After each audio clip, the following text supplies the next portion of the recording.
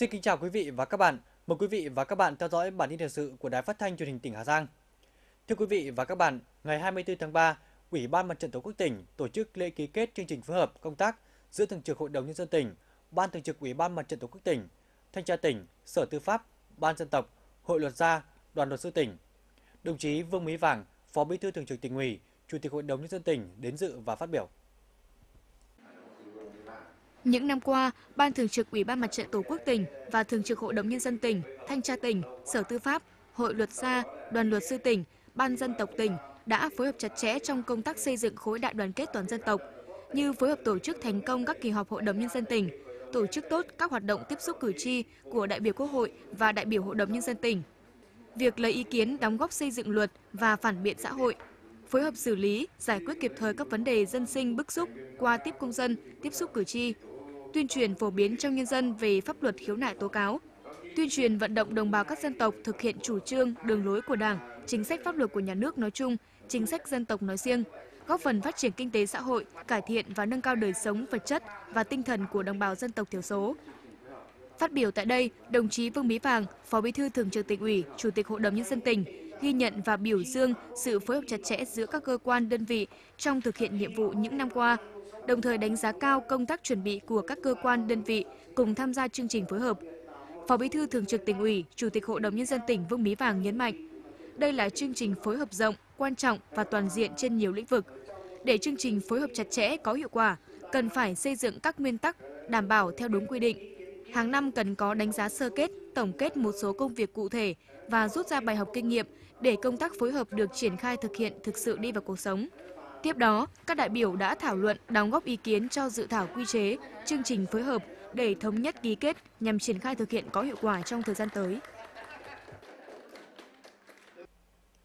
Thưa quý vị và các bạn, ngày 24 tháng 3, huyện Quản Bạ đã tổ chức hội thảo đánh giá việc triển khai các chương trình đổi mới trong giáo dục bậc tiểu học, tập trung vào hai chương trình lớn là dạy học tiếng Việt lớp 1 công nghệ và mô hình trường học mới VNN. Hội thảo có sự tham dự của đại diện các nhà quản lý, giáo viên 13 trường cấp tiểu học và hơn 50 phụ huynh, đại diện cho các bậc phụ huynh học sinh tiểu học trên địa bàn toàn huyện. Hiện tại huyện Quản Bạ có tới 67 lớp 1 với 918 học sinh đang theo học tiếng Việt lớp 1 công nghệ và 50 lớp với 985 học sinh học mô hình trường học mới VNN. Đáng chú ý là các chương trình đã được mở rộng áp dụng tận các điểm trường lẻ của 13 trường tiểu học trên địa bàn. Với việc tiếp cận các chương trình đổi mới, chất lượng giáo dục tiểu học huyện Quản Bạ đã có những chuyển biến rõ nét. Kết thúc mỗi năm học, tỷ lệ học sinh đọc thông viết thạo, nắm chắc luật chính tả có phần khả quan hơn.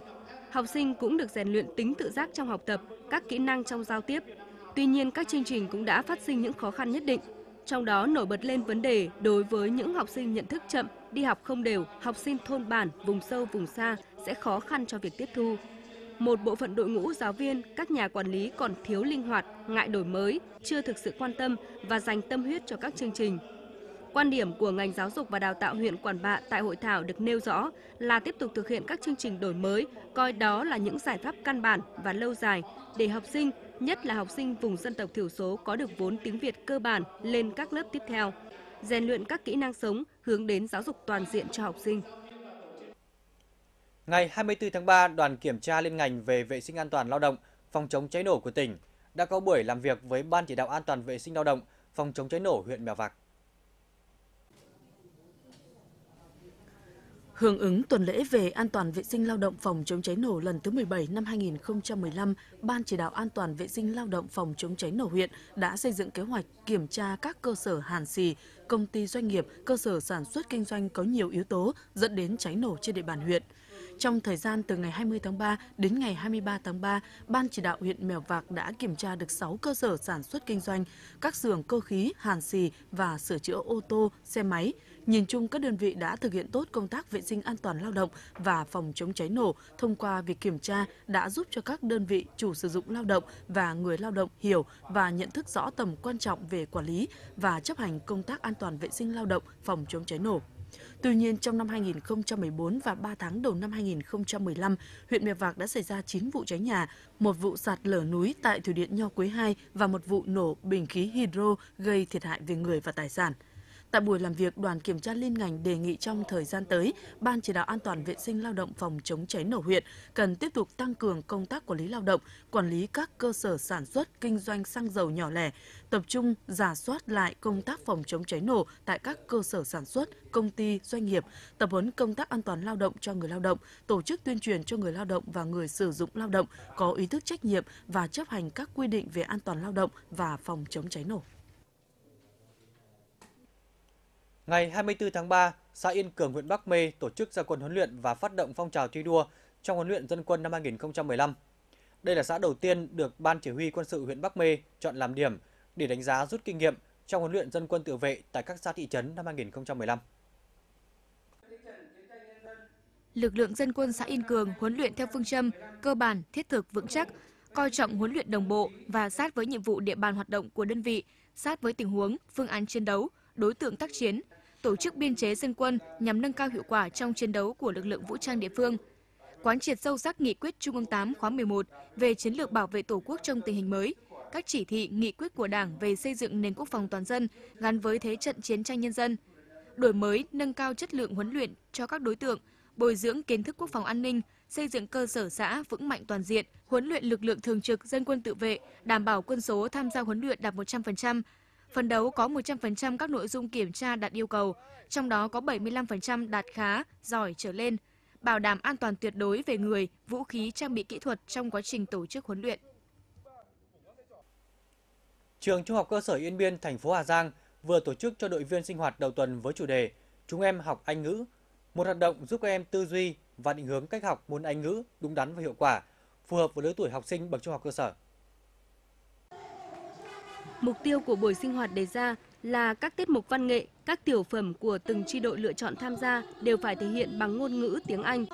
Ngoài các tiết mục văn nghệ, các tiểu phẩm dự thi, Liên đội trường Trung học cơ sở Yên Biên thành phố Hà Giang còn tổ chức cho các em tham gia các trò chơi, qua đó tạo được sự say mê, hứng thú trong từng trò chơi để hình thành trong các em kỹ năng hoạt động và giúp cho các em phát huy khả năng ứng xử linh hoạt, khả năng giao tiếp và quan hệ xã hội rộng rãi với mọi người xung quanh. Đây thực sự là một hình thức sinh hoạt mới, có tính thực tiễn cao, thu hút đội viên trong trường cùng tham gia.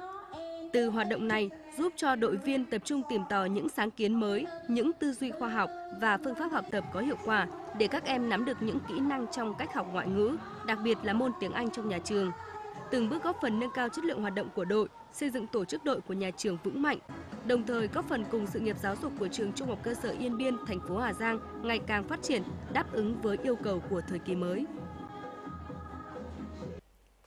Theo kế hoạch, vụ đông xuân năm 2014, toàn huyện Vị Xuyên sẽ gieo trồng trên 860 hecta lạc. Đến thời điểm hiện tại, đã trồng được gần 780 hecta, đạt 90%. Tập trung tại các xã như Trung Thành, Ngọc Linh, Linh Hồ và Việt Lâm. Về cơ cấu giống là các loại giống lạc đỏ địa phương như L14, L18 có khả năng chống chịu sâu bệnh cho năng suất bình quân đạt 19,7 tạ một hecta. Tuy nhiên, giống lạc địa phương có nhược điểm là vỏ lụa màu trắng, dễ bị mọt. Do vậy, vụ đông xuân năm nay, huyện Vị Xuyên cũng chủ động đưa thử nghiệm giống lạc đỏ thuần chủng Bắc Giang vào trồng với diện tích 17 ha tại xã Trung Thành với hình thức cho vay có thu hồi – đây là giống lạc mang lại giá trị kinh tế cao cho người trồng và đảm bảo chất lượng lạc thương phẩm, cho năng suất 25 tạ một hecta. Hiện nay cây lạc trong thời điểm ra hoa, bà con nông dân đang tích cực ra đồng tiến hành phun sới, làm cỏ, phòng trừ sâu bệnh và chăm sóc đợt 1. Cùng với đó, Phòng Nông nghiệp và Phát triển Nông thôn huyện Vị Xuyên đã chỉ đạo cán bộ hướng dẫn người dân vận dụng khoa học kỹ thuật vào quy trình chăm sóc, bón phân để tạo nên sự thay đổi về năng suất chất lượng. Thưa quý vị và các bạn, Hiện nay trước tác động của biến đổi khí hậu, thiếu nguồn nước, ô nhiễm nguồn nước và thiếu nước sạch sinh hoạt ảnh hưởng đến chất lượng cuộc sống người dân vùng nông thôn miền núi. Trong khi đó, người dân được tiếp cận với các thiết bị lọc nước thông thường trên thị trường còn hạn chế, giá thành sản phẩm tương đối cao, khó sử dụng, yêu cầu phải có nguồn điện hoặc nguồn nước áp lực. Do vậy, các dòng sản phẩm thiết bị lọc nước Lai Chao, một sản phẩm của Thụy Sĩ do công ty cổ phần Nano Phạm Gia phân phối, đang là một giải pháp cho người dân vùng nông thôn miền núi tiếp cận và sử dụng thiết bị lọc nước hợp vệ sinh. Tại sảnh bên lề hội thảo phát triển kinh tế xã hội tỉnh Hà Giang trong mối liên kết vùng Tây Bắc Đông Bắc rất nhiều đại biểu quan tâm đến gian hàng trưng bày giới thiệu sản phẩm thiết bị lọc nước Lightstro, một sản phẩm của Thụy Sĩ do công ty cổ phần Nano Phạm Gia phân phối giới thiệu nhằm quảng bá cho sản phẩm thân thiện với môi trường. Chị Sùng Thị Mai, xã Lùng Tám, huyện Quản Bạ rất thích thú và bất ngờ về công dụng của dòng sản phẩm thiết bị lọc nước này bởi theo công năng sử dụng của thiết bị như dễ sử dụng, giá thành hợp lý, thiết bị nhỏ gọn nên rất phù hợp với những vùng khó khăn về nguồn nước như các xã vùng cao của Hà Giang. Đối với thiết bị lọc nước này thì bà nếu mà được bà con nông dân được uh, sử dụng thì em thấy bà con sẽ được uh, được uh, sử dụng nước sạch cho đời sống đời sống của bà con. Với lại uh, bà con sẽ được ít mắc các bệnh truyền nhiễm. Với lại uh, bà con sẽ được uh, biết thêm được, được những thiết bị lọc nước hiện đại hơn trong cuộc sống của bà con ạ. Thiết bị lọc nước Lightstro ứng dụng công nghệ lọc đặc biệt kích cỡ nano với nhiều ưu điểm vượt trội, lọc đa dạng các nguồn nước như nước mưa, nước máy, nước giếng khoan, giếng khơi, nước ao hồ, sông suối, nước lũ ở vùng hay có lũ bão. Với hiệu quả lọc vô cơ, lọc đục và lọc vi sinh cao, thiết bị có khả năng lọc tối ưu các chất bẩn vi sinh, các chất hữu cơ, lọc bỏ tạp chất. Thiết bị dễ sử dụng thân thiện với môi trường, không cần dùng điện, không cần áp lực nước và không dùng tia cực tím để khử trùng. Theo các chuyên gia Viện Sức khỏe Nghề nghiệp và Môi trường Bộ Y tế đánh giá, thì đây là dòng sản phẩm hữu dụng đối với việc sử dụng nước vệ sinh với người dân, đặc biệt là vùng nông thôn, miền núi, vùng sâu, vùng xa, nơi còn ít được sử dụng nước hợp vệ sinh. À, theo như viện chúng tôi à, đánh giá phối hợp với Trung tâm Y tế Dự phòng tỉnh Hà Giang thì thấy rằng là nguồn nước chủ yếu là vấn đề vi sinh. Cho nên là khi chúng ta giải quyết được vấn đề vi sinh thì chúng ta có được cái ờ, nguồn nước tốt cho người dân. Còn nếu mà ờ, cái nguồn nước mà bị ô nhiễm kim loại nặng thì cái việc chi phí rất là lớn. Tuy nhiên là sau khi chúng tôi kiểm tra và thấy rằng là cái nguồn nước ở ở, trên, ở Hà Giang này chủ yếu là vấn đề vi sinh và cái thiết bị này nó giải quyết vấn đề vi sinh có nghĩa là chúng ta chỉ giải ờ, dùng cho nó đúng với mục đích phù hợp với cái điều kiện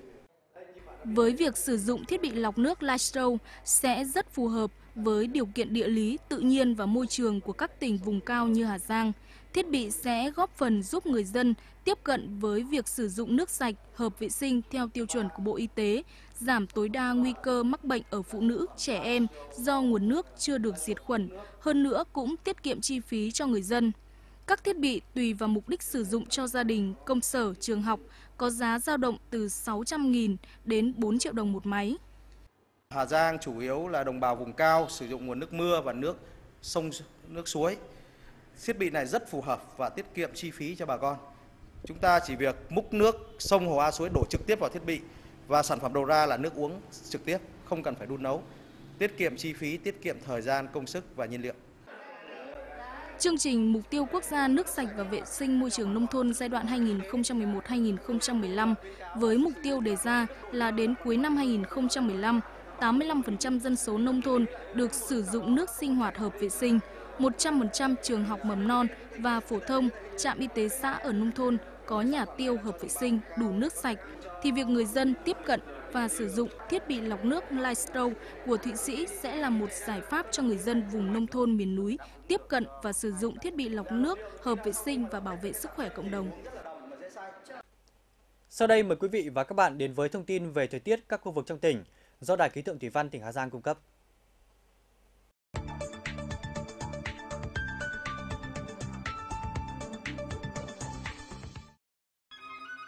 Bản tin dự báo thời tiết ngày và đêm 25 tháng 3 năm 2015. Khu vực công viên địa chất toàn cầu cao nguyên đá Đồng Văn, nhiều mây, sáng và đêm có mưa, mưa nhỏ vài nơi, trưa chiều có lúc hưởng nắng, gió đông bắc đến đông cấp 2 cấp 3, trời rét đậm. Nhiệt độ thấp nhất 12 đến 14 độ, nhiệt độ cao nhất 16 đến 18 độ, độ ẩm trung bình 85%.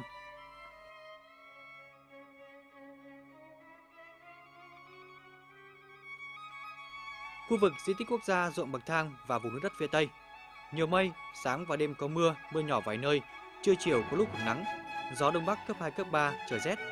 Nhiệt độ thấp nhất 17 đến 19 độ, nhiệt độ cao nhất 21 đến 23 độ, độ ẩm trung bình 87%.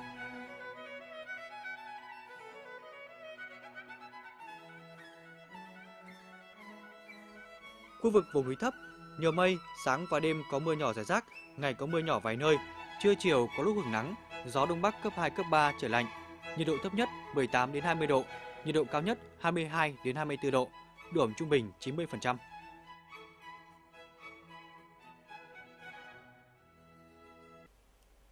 Quý vị và các bạn thân mến, bản tin thời sự của Đài Phát thanh Truyền hình tỉnh Hà Giang đến đây xin được kết thúc. Cảm ơn quý vị và các bạn đã dành thời gian quan tâm theo dõi và xin kính chào tạm biệt.